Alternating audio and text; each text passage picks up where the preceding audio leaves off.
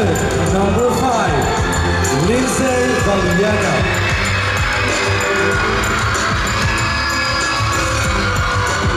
Lindsay is the daughter of Mr. Dwight Valiaga and Mrs. Melinda Valiaga.